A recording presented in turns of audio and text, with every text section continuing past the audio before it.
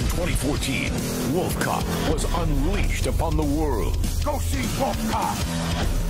And fans howled for more.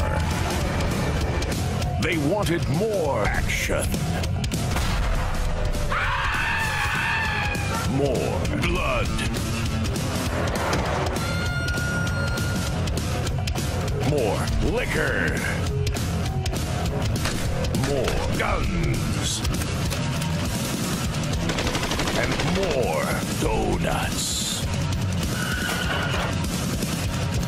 They scream for another.